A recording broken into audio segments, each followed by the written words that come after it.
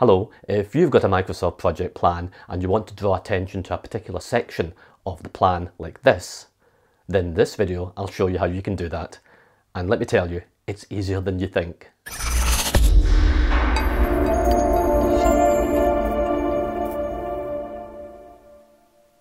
Okay, so here I have a Microsoft project plan and the task that I want to highlight for this plan is task B.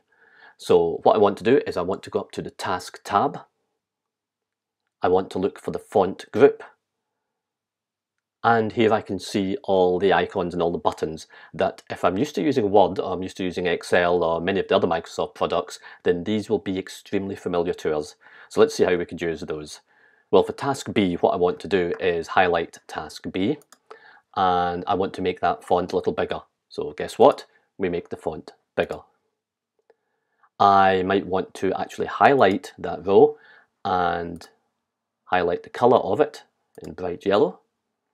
I may want to even highlight the rest of the uh, summary tasks and change them to a different color.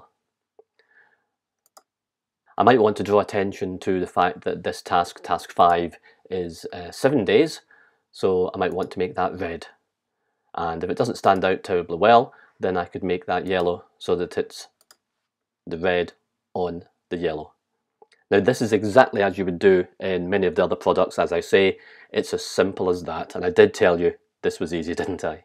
Well I hope you found that useful and you probably already knew how to do that, just never gave it a thought as to apply formatting techniques to Microsoft Project.